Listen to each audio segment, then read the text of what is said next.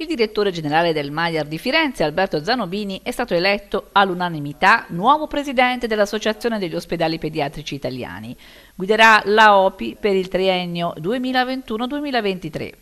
L'associazione da 15 anni ha per finalità il coordinamento di iniziative atte a promuovere lo sviluppo culturale, scientifico e gestionale delle strutture assistenziali ad alta specialità dedicate all'area materno-infantile e all'età evolutiva nel nostro paese.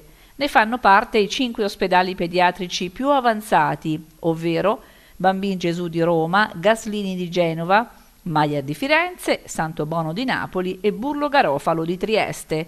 I maggiori dipartimenti pediatrici italiani, oltre ai presidi ospedalieri pediatrici presenti all'interno di policlinici.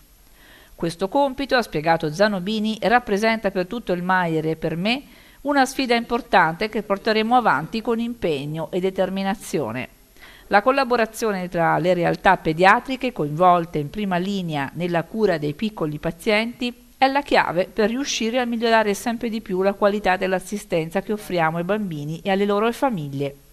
I bambini hanno diritto a poter contare su un adeguato setting pediatrico che sia uniforme in tutto il nostro paese, ha aggiunto Zanobini.